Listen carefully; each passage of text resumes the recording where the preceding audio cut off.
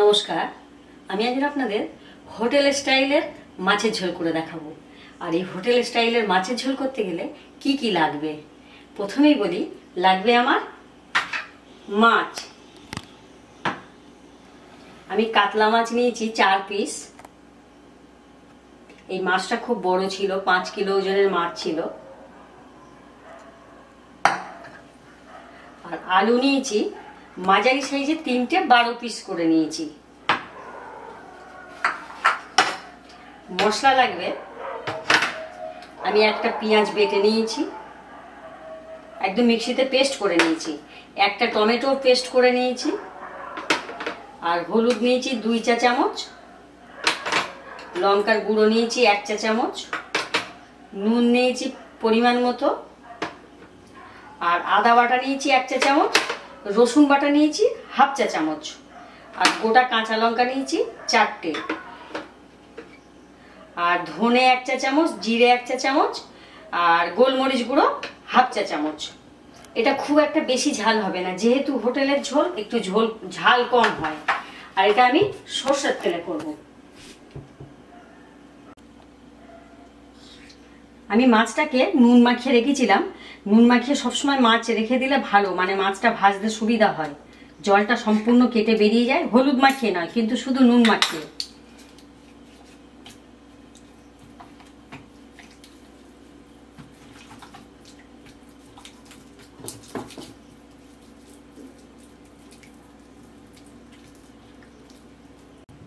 আমি তাওয়াটা গরম হতে দিয়েছি। আর তাওয়াটা গরমও হয়ে গেছে। আমি এবার তেল দেবো মাছটা ভাজার জন্য।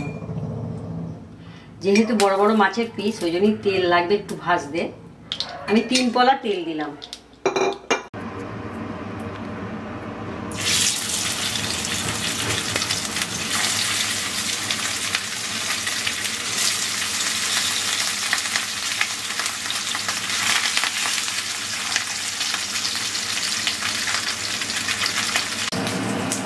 আমার মাছগুলো ভাজা হয়ে গেছে, আমি এবার একটু উঠিয়ে নেব।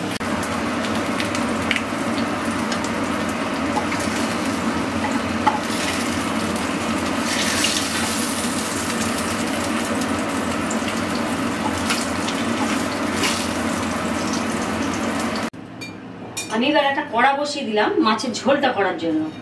আর আমি এতে এক পলা তেল দেব। আর এই ফ্রাই প্যানে মাছটা ভেজেছিলাম, এই তেলটুকুও এতে দিয়ে দেব। অল্প একটু তেল ছিল।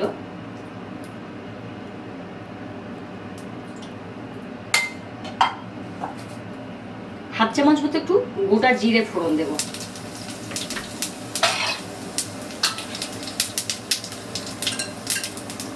দিয়ে আমি আলুগুলো দিয়ে দেবো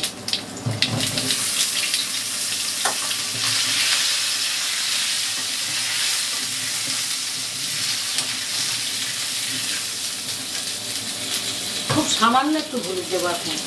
শুধু আলুগুলো রং ধরার জন্য। তারপর পরে আমি আবার একটু আলু, হলুদ দিয়ে দেবো। আর আলুটা আমি খুব সুন্দর করে ভেজে নেব। বেশ দাগ দাগ করে ভেজে নেব।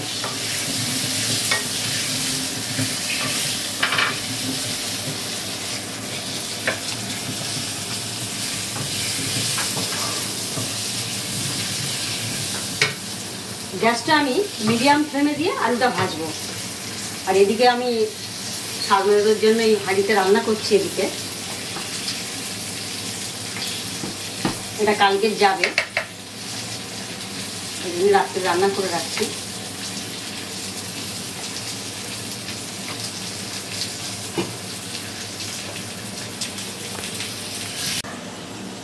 আমার আলুগুলো ভাজা হয়ে গেছে। আলুগুলো আলুগুলো আমার সুন্দর করে ভাজা হয়ে গেছে। আমি এবার ফ্রাই প্যানে উঠিয়ে নেব। আমার আলুগুলো ওঠানো হয়ে গেছে। আমি এবার তেল দেব। এটা হোটেল স্টাইলে রান্না, ওই জন্য একটু তেলটা বেশি লাগবে। আপনার পারলে তেল কম দিয়ে খাবেন। আমি আবার দুপলা তেল দিলাম। হোটেলের ঝোলে একটু তেল বেশি থাকে, ঝাল কম থাকে। আমি এবার পেঁয়াজ বাটাটা দিয়ে দেবো।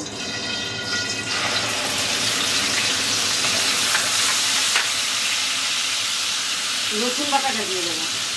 পেঁয়াজ আর রসুনটা আগে ভালো করে কষে নেব। এই হোটেলের ঝোলটা আমরা আমার যখন নতুন বিয়ে হয়েছিল, সেই সময় আমরা হাবড়ার থেকে খেয়ে যেতাম। তারপর আমরা যখন বোকারোতে থাকতাম, তখন আমরা যখন আসতাম, বছরে একবার করে আসতাম, তো আমার বড় ছেলে কোনোদিন মাছ খায়নি, কিন্তু মাছের ঝোল খায়। ওই হোটেলের মাছের ঝোল আমার ছেলের খুব প্রিয় ছিল। এখনও বলে মা, সেই হোটেলের মাছের ঝোল আমার খুব মনে পড়ে। হ্যাঁ সেই হোটেলের মাছের ঝোল, পাতলা ঝোল আর তেল ঝোল মতো থাকতো, অথচ ঝাল থাকতো না আর কালার থাকতো খুব সুন্দর। তাই ও খালি বলতো, মা, ওই হোটেলের ঝোল আমার খুব ভালো লাগে। তা সেই হোটেলের ঝোলটা আগে আমি বানাচ্ছি। একটু আদা বাটা দিয়ে দিলাম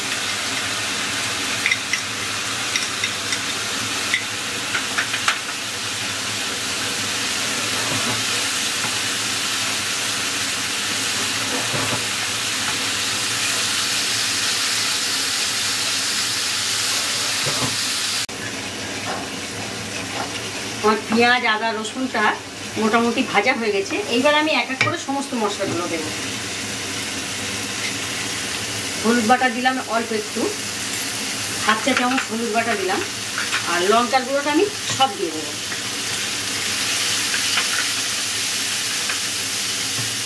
আর এই ধনে, জিরে, গোলমরিচ গুঁড়োটা সব দিয়ে দিলাম।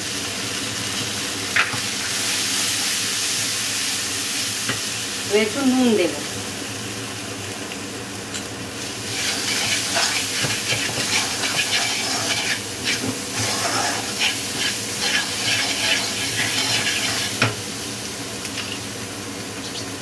অল্প সামান্য একটু মিক্সি ধোয়া জলটা অল্প একটু দেবো।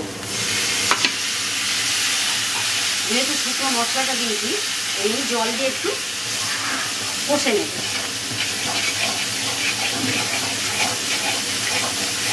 এবার আমি টমেটো পিউরিটা দিয়ে দেবো।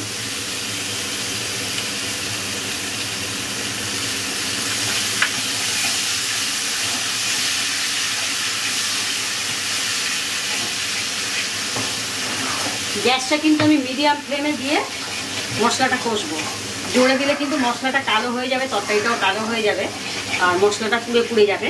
আমি মিডিয়াম ফ্লেমে দিয়ে মশলাটা কষতে থাকব।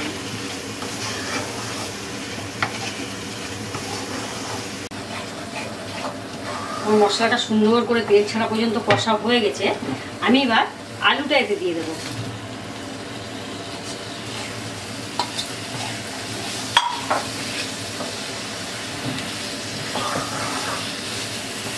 আমি কিন্তু এটা গরম জলে করব, একটু গরম জল দেবো। গরম জল দিলে তরকারি এমনি খেতে খুব সুন্দর হয় আর তাড়াতাড়ি ফুটেও যায়।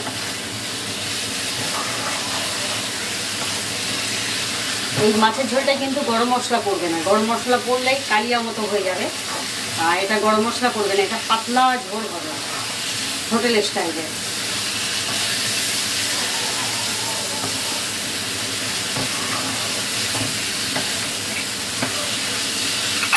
এটা সুন্দর কষা হয়ে গেছে, আমি এবার জল দিয়ে দেবো।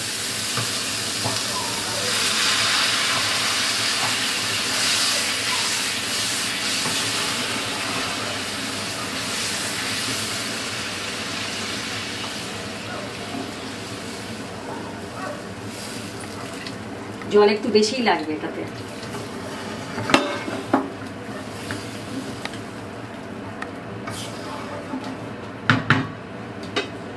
এবার আমি আলুগুলো সিদ্ধ হওয়ার জন্য পাঁচ মিনিটের জন্য ঢাকা দিয়ে দেবো। আমার পাঁচ মিনিট হয়ে গেছে।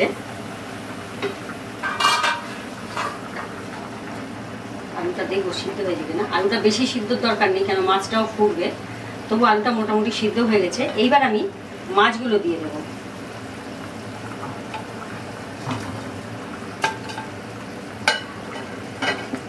মাছগুলো একটু ঝোলের মধ্যে ঢুকিয়ে ঢুকিয়ে দেবো।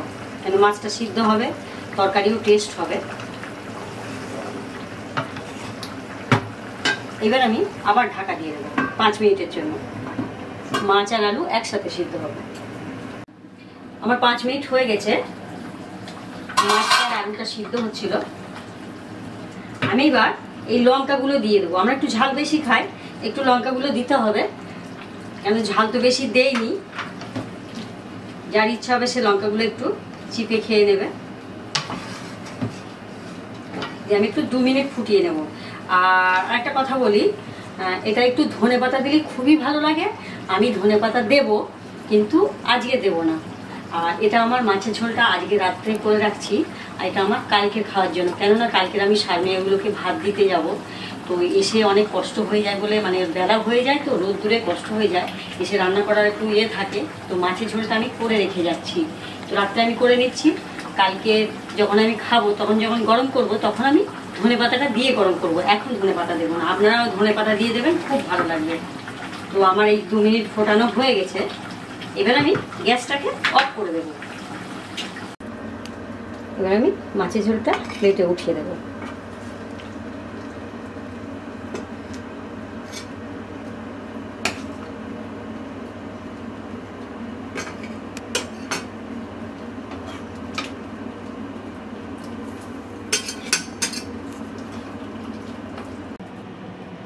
হয়ে গেছে আমার হোটেল স্টাইলের মাছের ঝোল। এটা খুব ভালো একটা রেসিপি তো আমরা ঘরোয়া যেহেতু খাব, আপনারা এত তেল দেবেন না। হোটেল স্টাইলে খেতে গেলে একটু তেল বেশি লাগে। আর হোটেলে একটু তেল বেশিই দেয়। আপনারা নিজেরাই একটু কম তেল দিয়ে খাবেন। আমরাও কম তেল দিয়ে খাই। তা যেহেতু হোটেল স্টাইলের দেখাচ্ছি, ওই জন্য একটু তেল বেশি করে দিলাম। তো আমি যেভাবে বানিয়েছি, আপনারা সেইভাবে বানাবেন। আর বানিয়ে কেমন হয়েছে আমাকে জানাবেন। আর এই রেসিপিটা দেখে আপনারা আপনার বন্ধু বান্ধব আপনার রিলেটিভদের সাথে শেয়ার করবেন। আর রেসিপিটা দেখে আমাকে সাবস্ক্রাইব করবেন। তাহলে আমি আরও নতুন নতুন রেসিপি আপনাদেরকে দেখাবো। আর এই রেসিপিটা দেখার জন্য আপনাদেরকে ধন্যবাদ।